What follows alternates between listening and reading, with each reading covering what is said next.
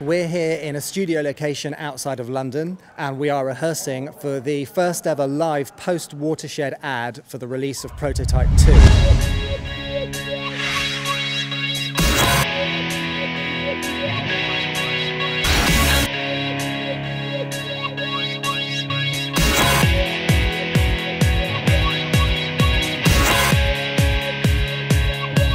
This is it now.